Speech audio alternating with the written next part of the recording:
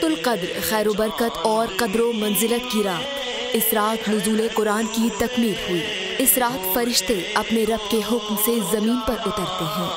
یہ رات ہمارے رب نے، بطور انعام ہمارے لیے مختص کی۔ جس میں ہماری نجات کا مکمل سامان رکھا ہے۔